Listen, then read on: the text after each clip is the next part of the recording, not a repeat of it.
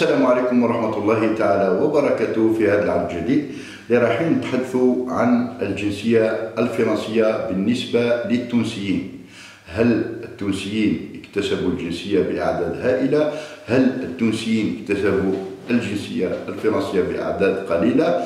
كل هذه الأسئلة سنجيب عليها من خلال هذه السلسلة اللي رانا نقدم فيها في كل يوم ثلاثاء على الساعة الثامنة هذا اليوم رايح نشرح كيف كانت ردة فعل التونسيين تجاه القوانين التي أصدرتها فرنسا وخاصة القانون آه، الأخير وخاصة القانون الأخير اللي صدر قبل سنة 1947 يعني بعد قانون آه، أوت 1927 واكتساب الجنسية الفرنسية من كثير من الآلاف من التونسيين فكانت السلطات الفرنسية تعارض هذه الجنسية آه، وخاصة وخاصة بعض الجمعيات الدينية والمنظمات السياسية أيضا أنذاك كانت تعارض الجنسية الفرنسية ومنحها في تونس. فطبعا من خلال آه، الوقائع التاريخية والأحداث التاريخية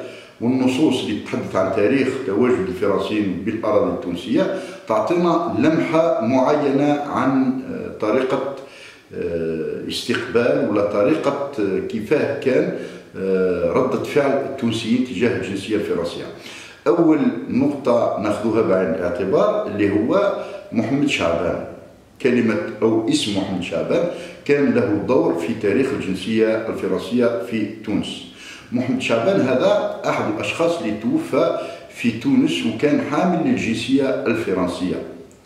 بعد وفاته يعني بعد وفاته آه، كان من المفترض أن يدفن في مقبرة إسلامية. باسكو ذاك بما أن هنالك كما شرحت آه، إدارة فرنسية وإدارة تونسية بطبيعة الحال مدرسة فرنسية ومدرسة تونسية بطبيعة الحال محكمة تونسية ومحكمة فرنسية. إذا حتى المقابر انقسمت إلى قسمين مقابر للفرنسيين ومقابر للمسلمين. فيما يخص المقابر الخاصة بالمسلمين آه، فبطبيعة الحال محمد شعبان هو من أصل تونسي وهو مسلم وتوجب دفنه في مقبرة تونسية إلا أن آه، جمع غفير من الشباب آنذاك والسكان في تلك المنطقة رفضوا رفضا تاما دفنه في مقبرة إسلامية. يعني هذا هو الإشكال.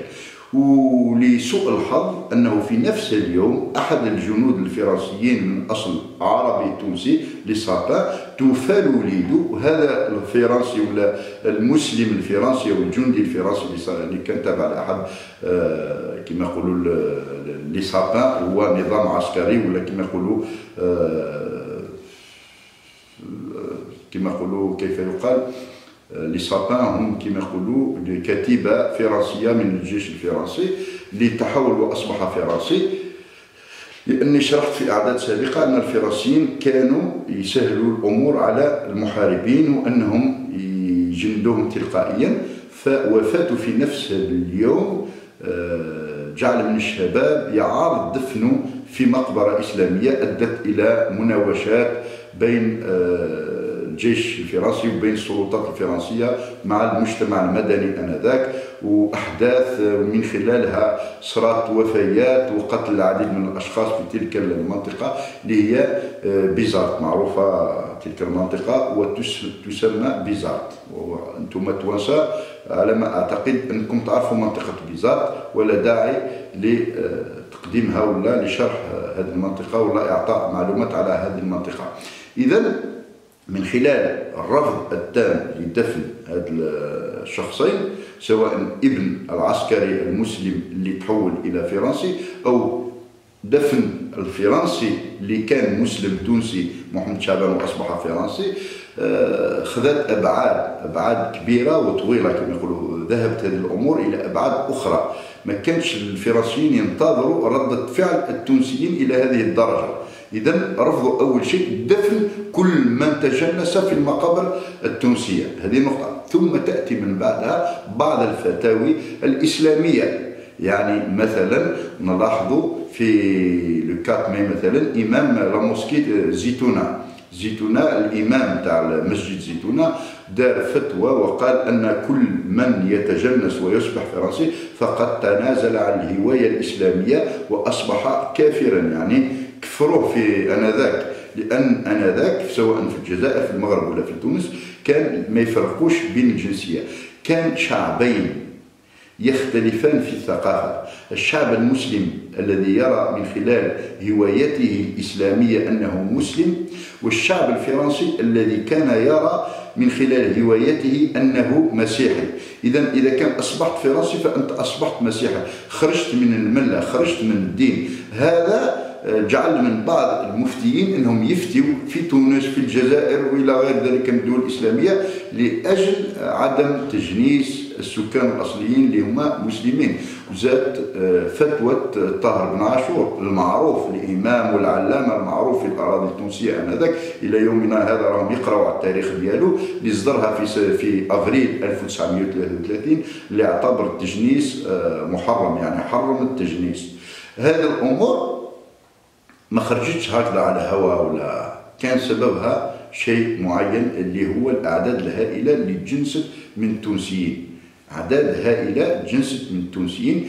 ودق ناقوس الخطر في تونس. ناقوس الهواية. ناقوس الهواية التونسية. ناقوس الهواية العربية. ناقوس آه الهواية الإسلامية.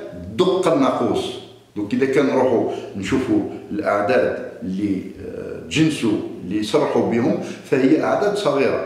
ولكن لو كان حقيقة كانت أعداد صغيرة ما همش رايحين ils font pas l'attention ce point وين يديروا فتوى ويقول لك اللي يصبح فرنسي فهو كافر. اللي يصبح فرنسي قد خرج قد خرج عن المله تاع الإسلام ولم ويعتبر مرتد عن الإسلام.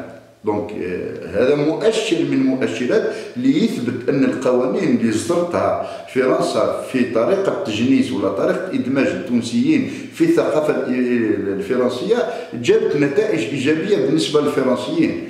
والشيء هذا ما دام جابت نتائج إيجابية فنقوس الخطر قد دق وعلى الثقافة ولا على المنظمات الثقافية العلماء وعلى المسؤولين السياسيين ثقافيين واللي يشتغلوا في مجال أيضا الدين أنهم يتحركوا لمواجهة هذا البرنامج الفرنسي الذي كانت تعمل عليه منذ وصولها إلى الأراضي التونسية. يعني لازم تفهموا بلي فرنسا نهار دخلت لتونس كان عندها أبعاد مدى البعيد كان عندها نظره مدى البعيد.